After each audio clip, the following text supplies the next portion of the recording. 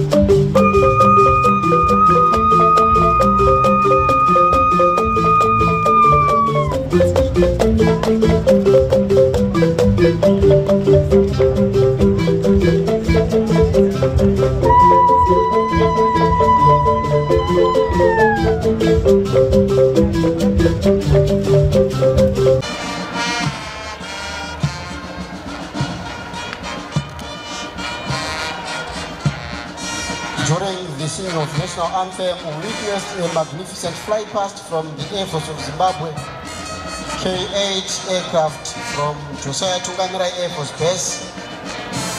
In the lead was Wing Commander Angela Bosha, co-pilot squadron leader Takashinga Verengera.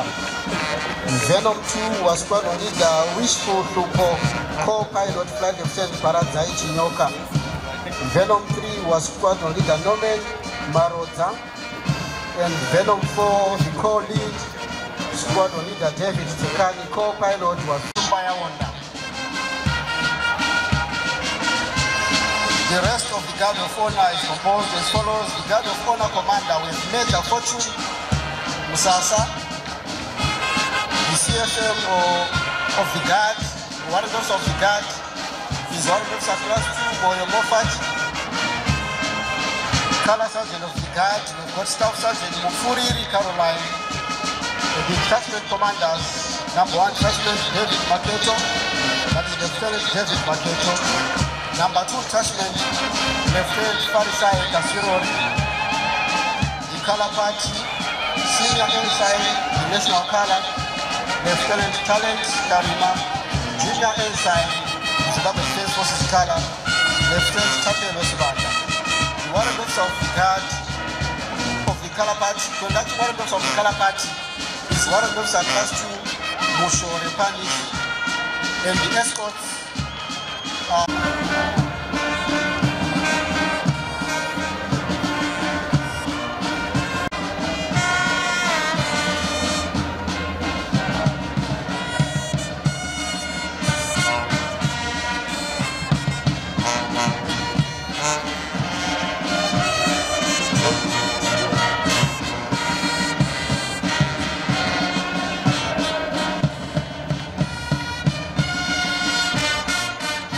After the inspection, we'll have the singing of the Zimbabwe national anthem before the guard of honor marches past. So during that time, I'll give you a gentle reminder to remove isigaba se-official opening yanamhlanje.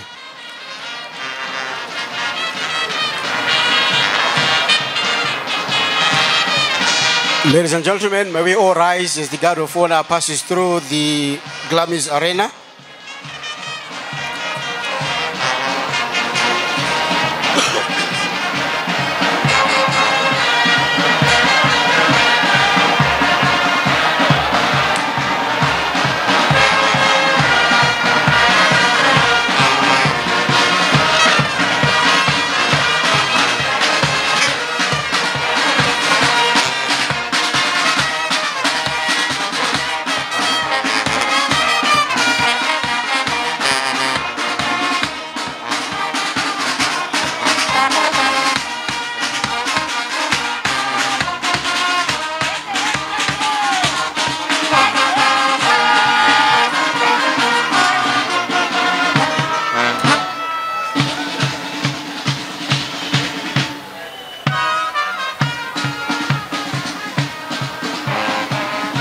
To the government of Zimbabwe, and particularly His Excellency President Emmerson Mnangagwa, and to the Zimbabwe Agricultural Show Society for according us the honor to participate in this prestigious agricultural show, which has excited for over a century, and it is at its 104th 10th edition.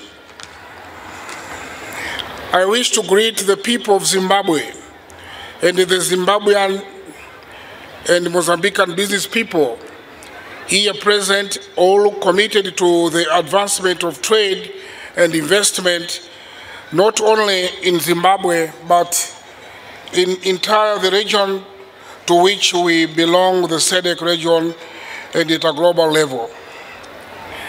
The agriculture fair we witnessed today with a great honor and joy uh, at its first edition in, as well, very well said here, the director, in 1895, showing a century-long journey dating back before World War I.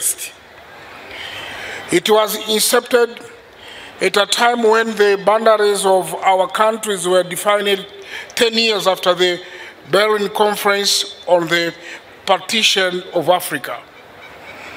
It was incepted five years after the British Crown ultimatum to Portugal launched by Lord Salisbury against Portugal's intentions to draw the so-called purple map that would connect Angola at the Atlantic coast to Mozambique and to the Indian Ocean. Today, we do not have a physical border, but any imaginary boundaries is a heritage of that past time.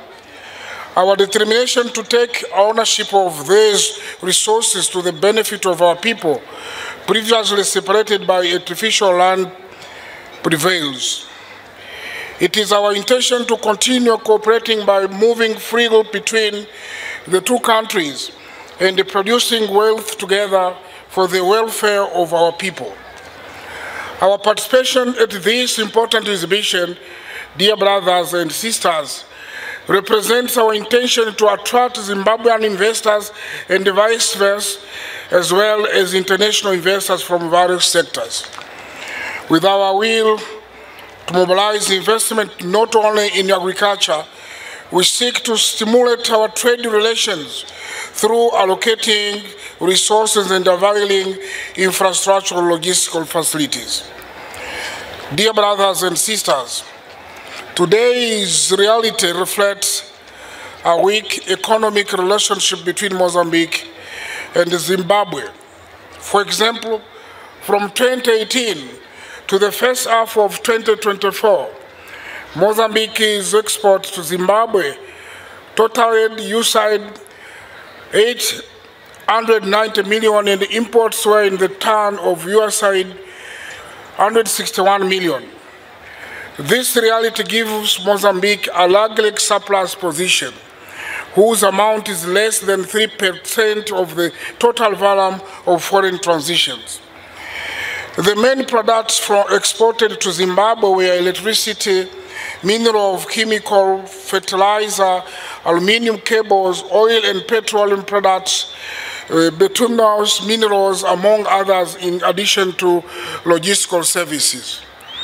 While on the import side, Mozambique acquired from Zimbabwe non-processed tobacco and its byproduct flour, corrugated paper and cardboard, insulted and conductors for electrical use, seeds, cereal-based products, among other products. With respect to Zimbabwe investment approved in Mozambique over the last 10 years, there has been a total of 46 investment projects only, estimated at USAID 151 million split into industrial sector at 33%, aquaculture and fisheries at 26%, tourism at 20%, and agriculture and livestock at 12%.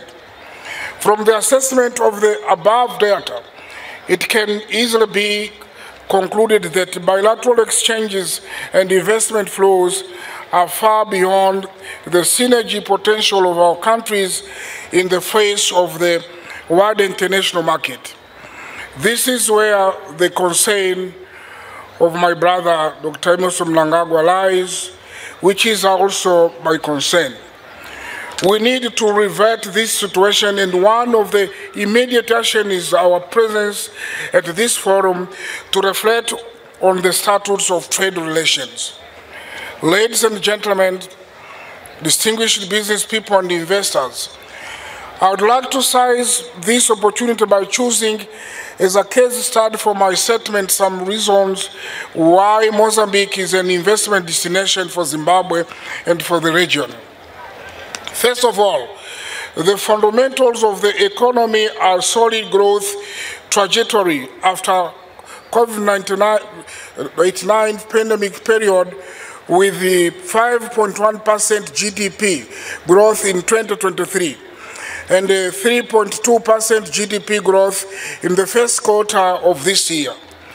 The inflation and exchange rate have evolved in a stable manner after a period characterized by tight financial issues in the face of energy crisis and uh, the initial stage of the Russia-Ukraine war.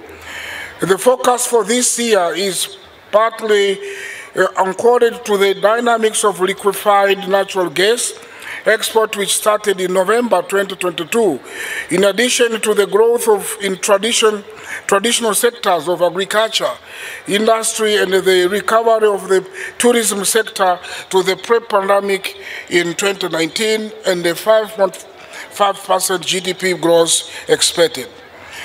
This relative stability is owing to the following. First, we have undertaken reform measures conducive to the eh, alleviation of red tape, bottlenecks with the development of one-stop shop for the opening of new business. Second, we have reviewed the Investment Act and the Labor Act. Third, we have introduced specific measures within the scope of foreign trade.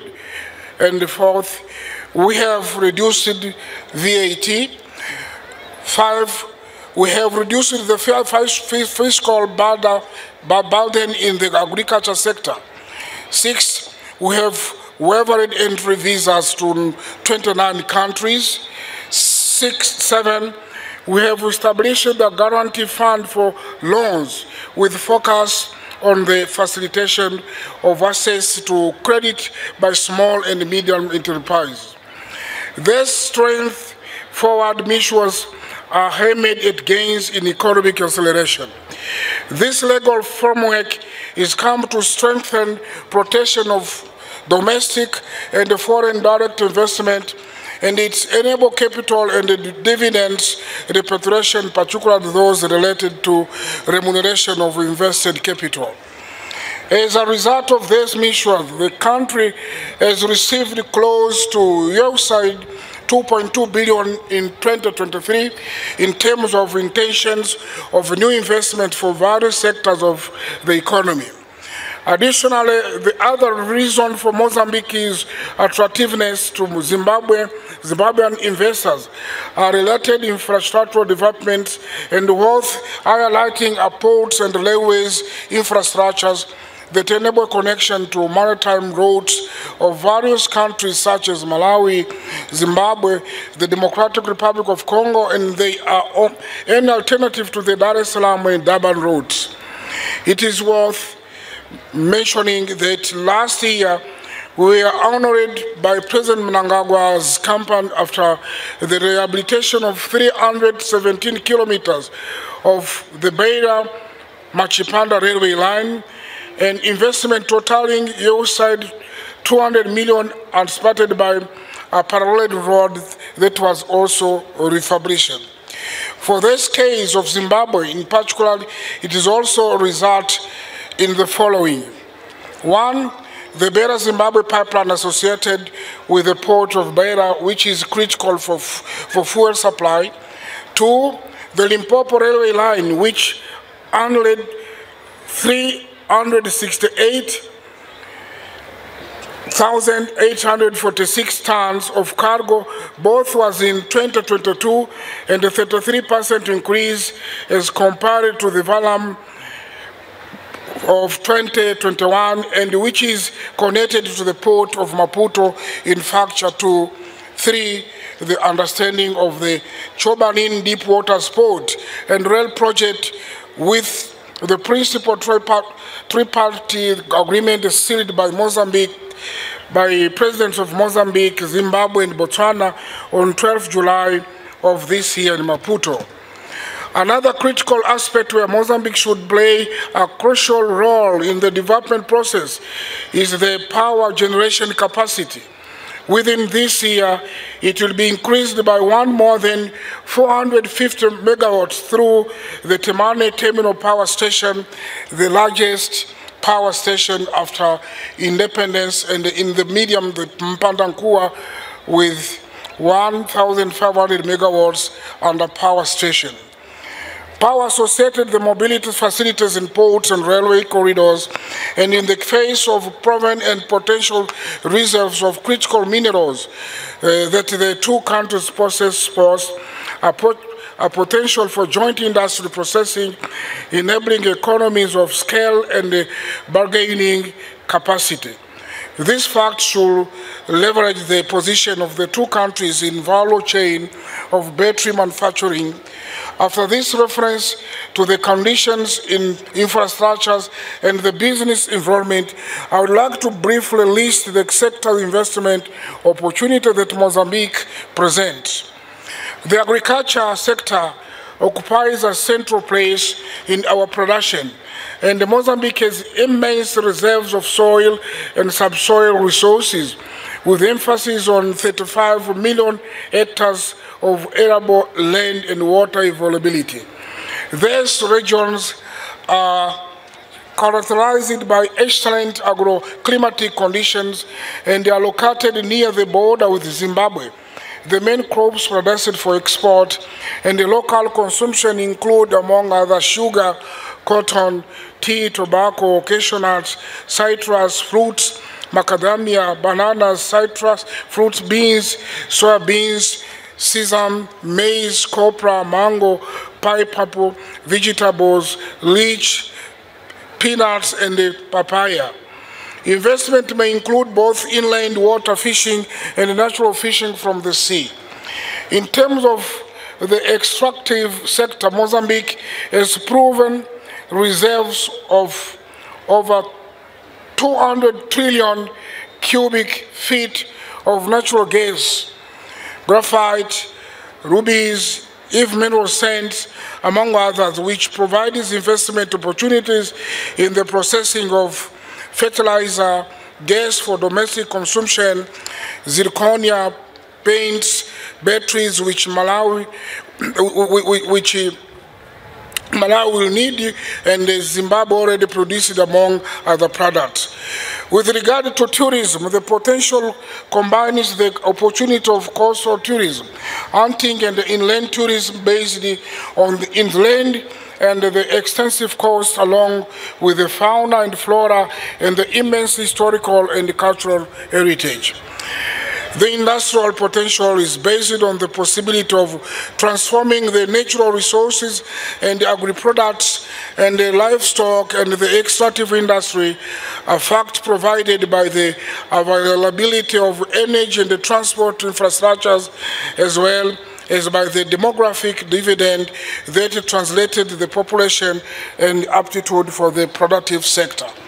For all those reasons, it is our expectation that this fair will serve as a platform to promote our opportunities for cooperation and exchange in the area of various sectors listed here. An example is the knowledge accumulated in research of wheat varieties whose production in Zimbabwe is reality. I would not like to conclude my speech without acknowledging, uh, acknowledging and saluting your great vision and the efforts of your government despite the illegal and the unjust uh, sanctions imposed on Zimbabwe. Today, Zimbabwe is a country that rises. Today, Zimbabwe is the country that rises from adversities and growth above many countries that live without deprivation. It is economic growth is partly the result of dedication of our people and your visionary leadership with higher sense of resilience. Zimbabwe turns limitation into opportunity for his development. Economic growth, infrastructures gradually become food, suffi food sufficient. Congratulations, Zimbabwe people, and congratulations, Dr. Mnangagwa, President of Republic of Zimbabwe. My dear brother, is Excellency Dr. Emerson Dambuzo Mnangagwa, President of the Republic of Zimbabwe, ladies and gentlemen, on October 9th, my country will elect the President of the Republic, members of Parliament, the provincial governors, and members of the provincial assemblies. Myself, I will not run. It is at this moment I want on behalf of myself and my family to express my deep gratitude to the people of Zimbabwe, your government, Mr. President, and to you, my dear brother, for the affection and the support provided to me over the last 10 years that I have served the Mozambique people. I also went I also went to thank the support of the people and the government of Zimbabwe in fight against terrorism in the northern part of Cabo Delgado through direct contribution and in the training of special forces in Mozambique. It has been a privilege to work tirelessly with you, Mr. President, to keep alive the traditional relations of brotherhood between the Mozambican and the Zimbabwean people. I am proud of what we have achieved together. I am confident, I am confident uh, that, Mr. President, you will continue to guide the relations between Zimbabwe and Mozambique towards to the progress of both countries. I ask all Zimbabweans and the Mozambicans to maintain the mark of our good relations and our country's old commitment to building prosperity together for our people, peoples and for our SADC region.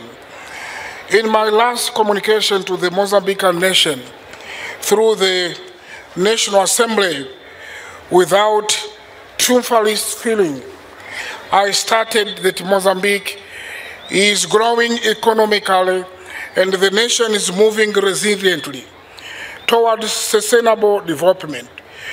This is my belief and I have faith that it will be so. Finally, we invite all entrepreneurs attending this show to use this opportunity and as a unique platform for identifying attractive and viable business opportunities. For me personally, the present moment serves to express my sense of accomplishment in the consolidation of our relations and to thank all the collaboration and the cooperation with my brother. President Mnangagwa, together we have faced many battles with the certainly of bringing the best result to our countries, to the SADC region, and especially to, for well-being of our compatriots. Our common story allows to us to say loudly, the fight against poverty continues. A luta contra a pobreza continua. Because the challenges remain, although they take other forms these days. Thank you very much for your attention. Keep well, Zimbabwe. Thank you.